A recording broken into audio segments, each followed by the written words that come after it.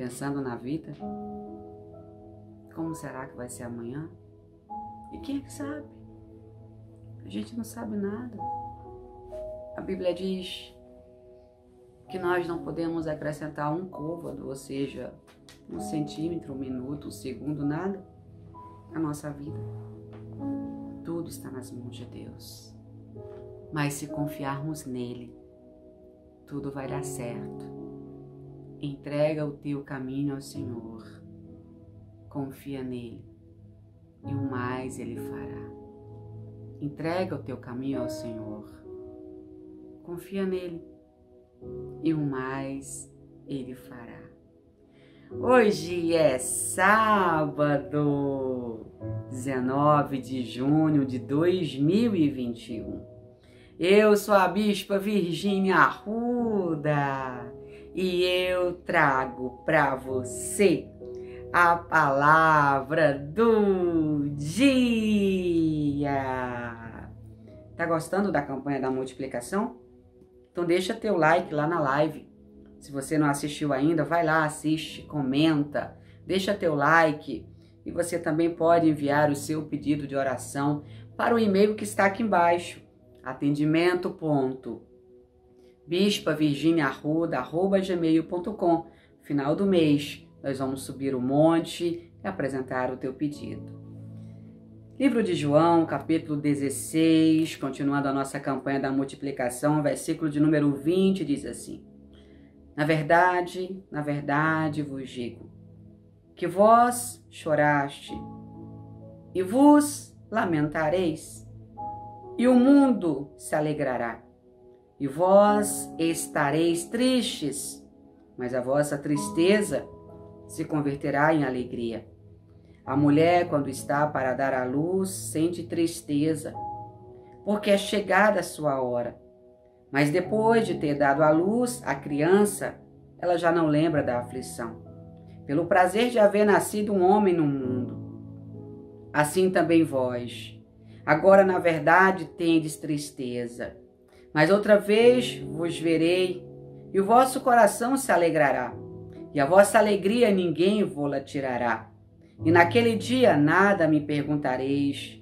Na verdade, na verdade vos digo, que tudo quanto pedides ao meu Pai em meu nome, eu vou-lo há de dar. Até agora nada pediste em meu nome. Pedi e recebereis para que a vossa alegria se cumpra. Aqui são as últimas instruções que Jesus disse ou deixou para os discípulos. E quando eu leio aqui, eu penso que Jesus disse: Olha, discípulos, eu estou indo para o Pai, vou embora para casa, para o céu, mas quero dizer uma coisa para vocês.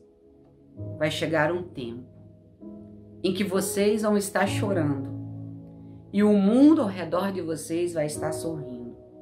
E você pergunta como é isso, bispa? Eu quero te dizer: o mundo jaz no maligno. O mundo odeia os servos de Deus. O mundo maquina contra os, contra os servos de Deus. O mundo cria confusões contra os servos de Deus. Mas eu tenho uma boa notícia para nós. O Senhor disse: que no mundo nós teríamos aflições, que o inferno se levantaria, mas que o Senhor esmagaria embaixo dos seus pés a cabeça da serpente.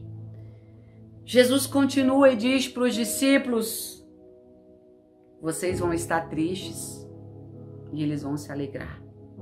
É como se a nossa dor, nossa tristeza, tornasse alguém feliz. Mas recebe essa palavra que Deus me manda dizer agora. Quem se alegra da nossa tristeza, quem se alegra do nosso choro, não tem noção que se entristecerá setenta vezes mais e que chorará setenta vezes mais e que o dobro dessa conta trará o Senhor de alegria para o nosso coração. Sabe? Às vezes o mundo acha que nós não temos dono. O mundo acha que pode fazer o que quer conosco, que Jesus não se importa. Mas Jesus manda dizer uma coisa essa manhã: os meus filhos, eles são meus coerdeiros, eles são meu patrimônio. Ai daqueles que tocam nas minhas ovelhas. Esta manhã diz o Senhor: muitos zombaram com o teu nome, muitos zombaram com a tua casa, muitos zombaram com aquilo que eu te dei. Mas eu te digo que da mesma maneira que a zombaria no inferno acabou no domingo ao terceiro dia quando eu ressuscitei, a zombaria acaba hoje.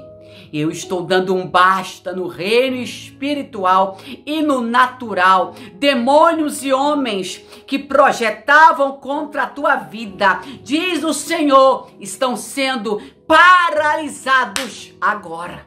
Malabassubi andarai. Muitos dizem, ha, ha, ha. pensa que é cristão, pensa que o Deus dele vai acudir, diz o Senhor. O Deus que eles clamam, rindo dos meus servos, é Deus de barro, é Deus de madeira, é Deus de pedra, mas eu ainda sou o grande eu sou.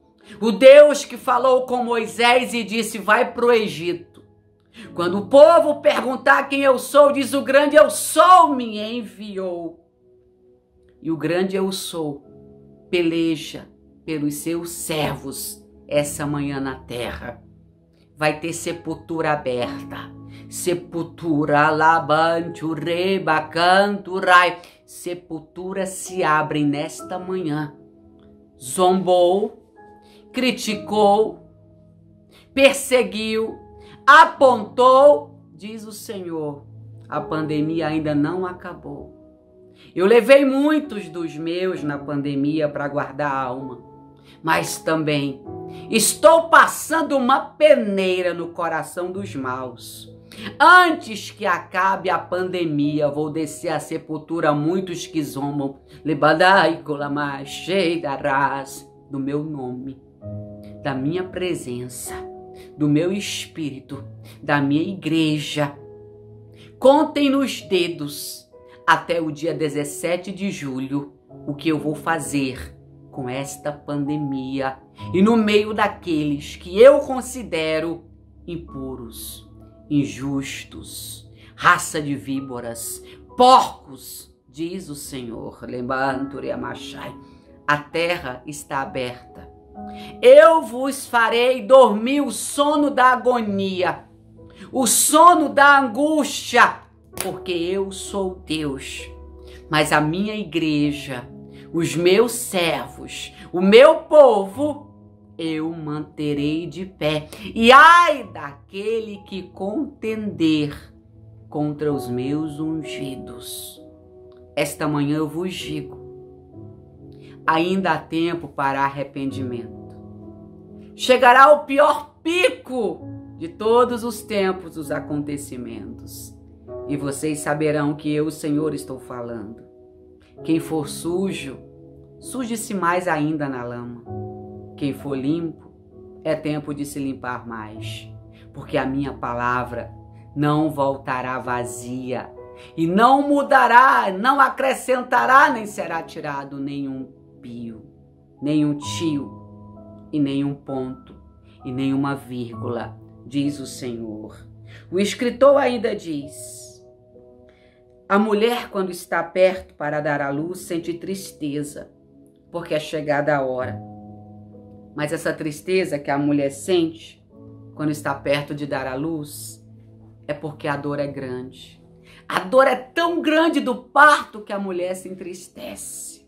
O Senhor diz assim: Eu sei, meus filhos, quão grande tem sido a tristeza no coração de vocês.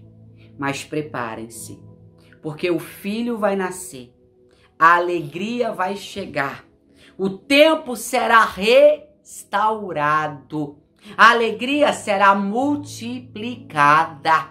Eis que eu dou vida longa para quem está na minha presença mas para aqueles que de desonram o meu nome, eu estou abatendo, diz o Senhor. É um tempo onde muitos viverão e frutificarão, mas outros eu estou cortando com a minha foice da face da terra. Prepare-se, Europa. O Senhor diz que muitos já sofreram na Europa, mas haverá uma grande queda por esses dias. É a permissão do Senhor. E no Brasil, o Senhor diz: os gritos serão ouvidos de longe, mas também é a permissão do Senhor. Eu estou forjando algo contra vós, que maquina um mal contra o meu povo. Uma trombeta tocará, e vocês saberão que o meu anjo está sobre a face da terra. Eu amo os homens, mas eu odeio o pecado. Eu não suporto o pecado. Eu amo os homens, mas eu não suporto a desobediência. Vocês correrão e se cansarão quando não buscarem em mim o que precisam. E vocês que esperam na minha palavra e zelam pelo meu nome, voarão como águias, correrão e não se cansarão, voarão e não se fatigarão, e o tempo inteiro vocês glorificarão e dirão: Santo, Santo, Santo é o Senhor dos exércitos. Dias de luto estão chegando. Os dias de praga e peste estão aumentando.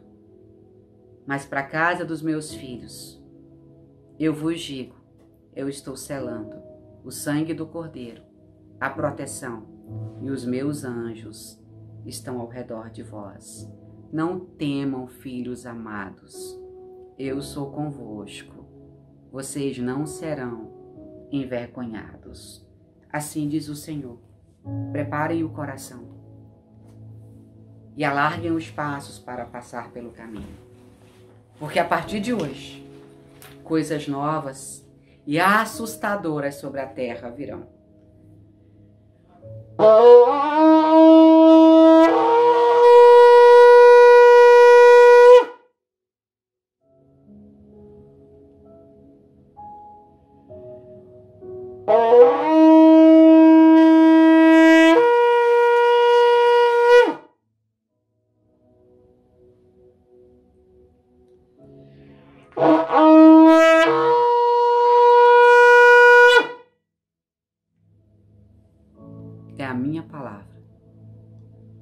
manifestada sobre os homens, sobre os animais, sobre a terra, sobre o sol, sobre a lua, sobre o mar. E quando eu falo, diz o Senhor, tudo e todos têm que se dobrar. Que o Senhor te abençoe e te guarde. Que o Senhor faça resplandecer o rosto dele sobre você e te dê a paz. Amanhã, se o Senhor deixar, eu volto na palavra do dia.